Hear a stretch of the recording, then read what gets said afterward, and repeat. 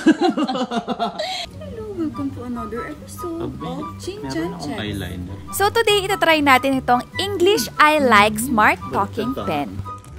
Dito ka kasi lumapit ka, abaw. Buti na lang orange. Kasi, Yellow kaya to? ha? Orange yun, diba? Yellow kaya? Yan. I think, yan, holder.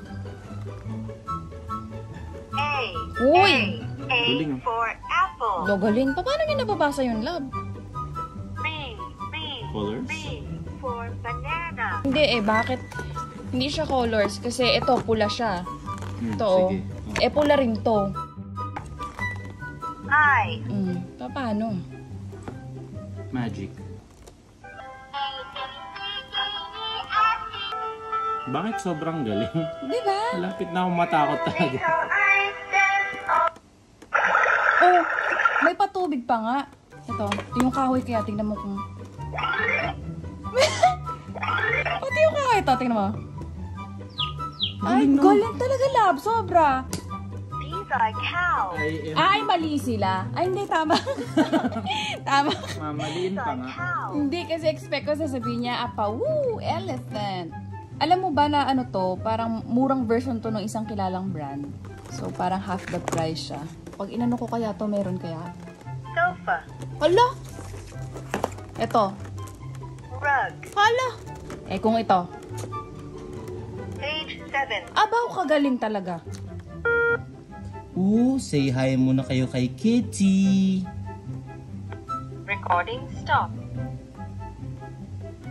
Say hi muna kayo kay Kitty. Pero ba? Ako ko pa try. Hi.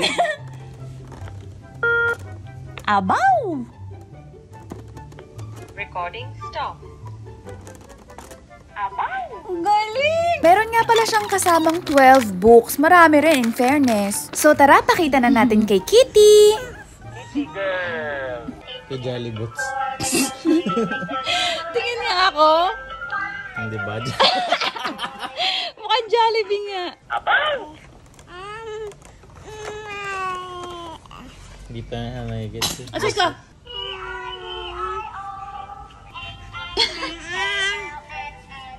O-P-Q-R-S-T